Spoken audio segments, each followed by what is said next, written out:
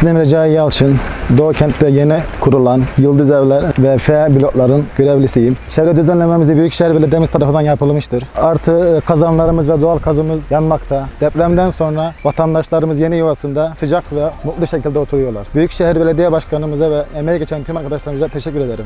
Çevre düzenlemesi tamamlanmaktadır ve elektrik ve doğalgaz işlemleri tamamlandı ve canla başla devam ediyoruz. Büyükşehir Belediye Başkanımıza çok çok teşekkür ediyoruz. Yollar, asfaltımız yapıldı. Bir yandan da aydınlatmalarımız yapılmaya başladı. Büyükşehir Başkanımız da sağ olsun yardımcı oluyor. Elinden geleni yapıyorlar. Merhabalar, ben Gökhan Engizek. Yıldız Evler Site Yönetim Kurulu Başkanıyım. Şu anda Büyükşehir Belediye'mizin öncülüğünde başlatılmış olan projemiz 53 blok, yaklaşık 650 daire oturmakla. Büyükşehir Belediye Başkanımız Sayın Hayrettin Güngör yolumuzu, asfaltımızı, altyapımızı sağ olsun ilgilendi, yaptı. Kendisine hizmetlerinden dolayı teşekkür ediyoruz.